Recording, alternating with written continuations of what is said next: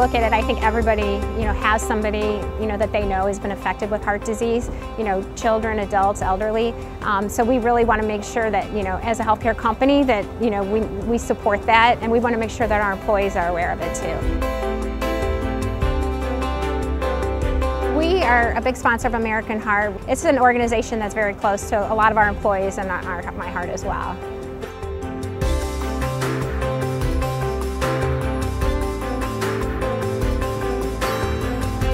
Wanted to have something for our employees while we were at our conference, um, so we thought having a field day to raise money for the American Heart Association, as well as keeping our employees active and healthy was a great idea.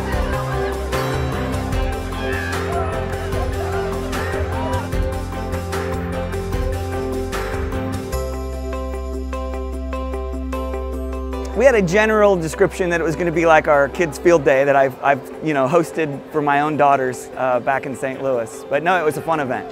I think the employees had a really good time. It was elimination, a little bit like March Madness brackets. Um, so everybody started at the beginning and then they dwindled down. But what we wanted to do is we wanted to have a team that won the games, but we also wanted to have a team that won who um, donates the most money. So we're going to have two sets of winners today. So even if you got out of the games, you still had an opportunity to donate and get your team the team medals.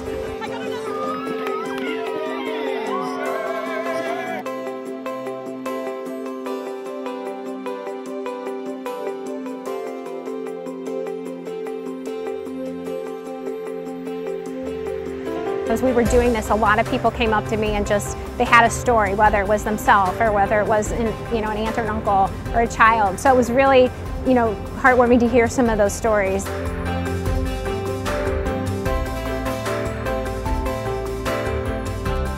We work hard for patients every day across the board, and to be able to do it in this way, in a different way, uh, to make that contribution was remarkable. I think it's just a win-win. You know, it's a win for the American Heart. Again, the research they do, you know, the promoting health and everything else is just super important. But it's also a win for the company because the employees get so much out of it. And you know, like I said, I think people know others are affected and just the amount of research they do, you know, it's going to help somebody they know at some point.